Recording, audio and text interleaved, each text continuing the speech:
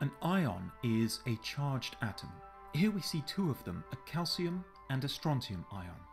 They are superb, controllable quantum systems, and we'll see we can store information into either one.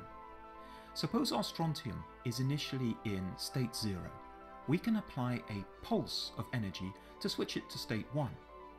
Later, for readout, we can use a laser that would have no effect on state 0, but our ion in state 1 will absorb energy and then emit it back as a photon, a particle of light which we can detect. Let's zoom out. We see gold strips below. These produce electric fields holding our ions still without physically touching them. And again we see a laser causing an ion to become excited and emit its photon. Zooming out further, we see the gold strips are part of a small chip called an ion trap. And then we see surrounding electrical and cooling systems.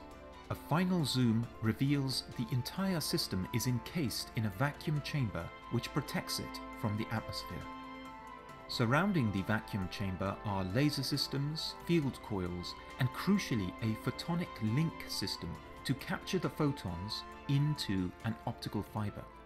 This complete module is a small quantum processor, but now consider two linked modules.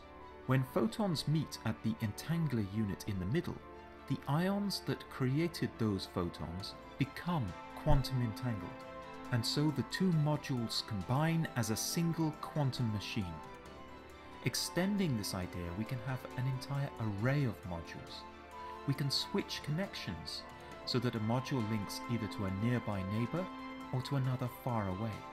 In this way, we can have a highly connected and scalable quantum brain.